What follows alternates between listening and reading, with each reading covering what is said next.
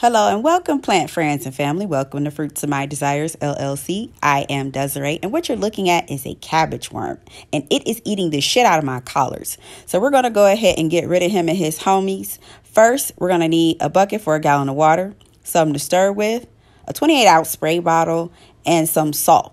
Now, these salt packets are the condiments that come with the stuff that I order or pick up.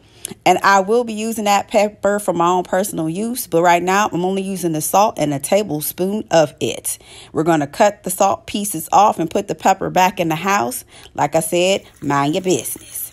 You're going to need some water. I'm using rainwater because I collect it, but you can use tap water if you like. Go ahead and add your tablespoon of salt to your one gallon jug. Go ahead, grab your water Pour in a gallon without knocking it over like I almost did.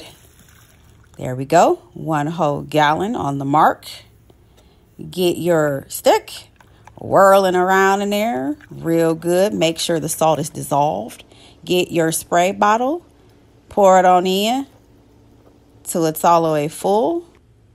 Now pick that sucker off and examine for all of them. I only had the one. So what I like to do, sometimes I burn them, but for the most part, I just carry my nice chocolate brown butt over here and yeet the mess out of it so the birds can get it.